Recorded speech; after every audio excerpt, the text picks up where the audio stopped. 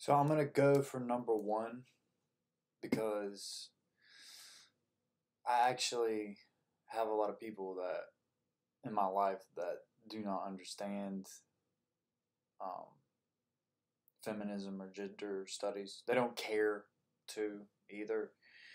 And when I say they don't care to, it's not like they're opposed or anything of that nature. It's just like it's not their problem to them. They don't care. Um, they, it's never affected their lives, and this is like men and women. That, that it's never affected their lives, so why should they bother? I guess. Um, and so I've had a lot of, you know, uh, discussions with these types of people. Um,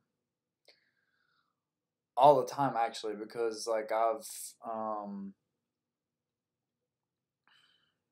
I guess gone on creative endeavors that have illuminated some of these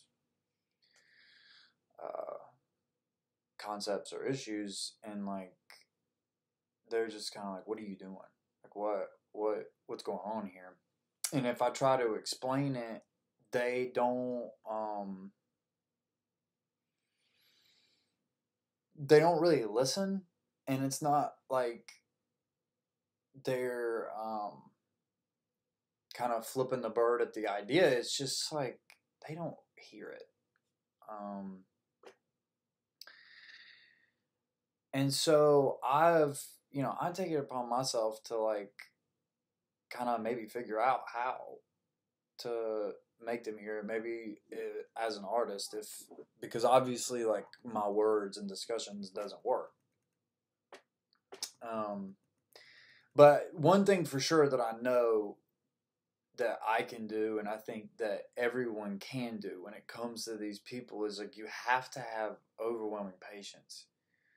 Because the moment that you lose any sort of patience with people in this discussion like you are muted in their head.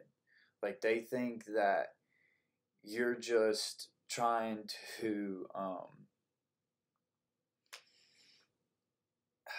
degrade them because their intellect isn't on yours. That's like in in what i've experienced they just they feel like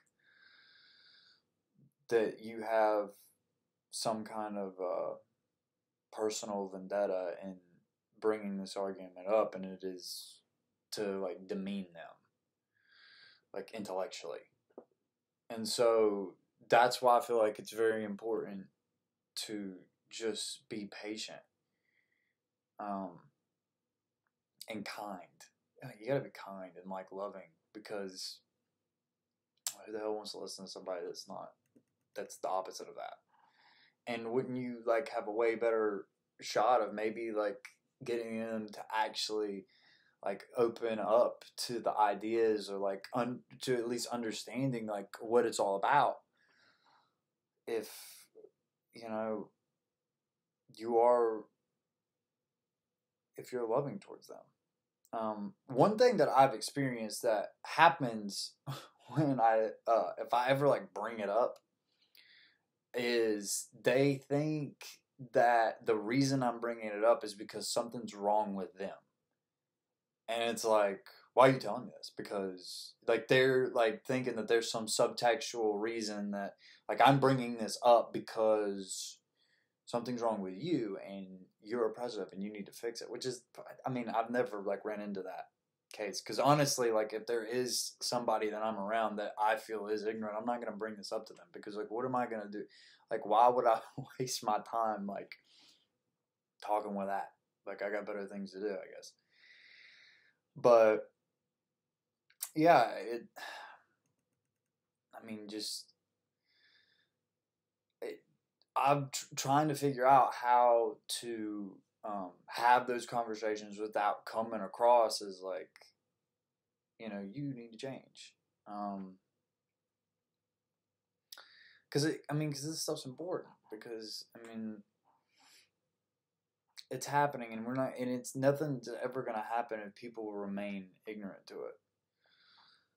Um, I feel like a large part. I guess I can kind of answer number three too, because like a large part of why I have so such a high exposure to a lot of these people is kind of the way that I was um brought up. Like my gender was uh, established from the drop of the hat, and so was everybody else's around me. Like, I mean, I was a boy. I, did, I mean, I didn't even. I mean, honestly, to the point where I didn't even really think about it. I was a boy, dressed a certain way. Those are girls. They dress that way. They do that. You do this. Like, I never thought anything of it. I mean, I loved my childhood. I loved every second of it. But, um, I guess the absent-minded, or not, I. I mean, it just wasn't in the realm of thought with anybody that I grew up with, or I didn't know anybody who considered such things. And so those people are still there, and you know, if people weren't, um, uh, if people weren't patient with me, I don't think I would have the understanding that I do now. I mean, because like I've learned tenfold since this class began, I guess. Um,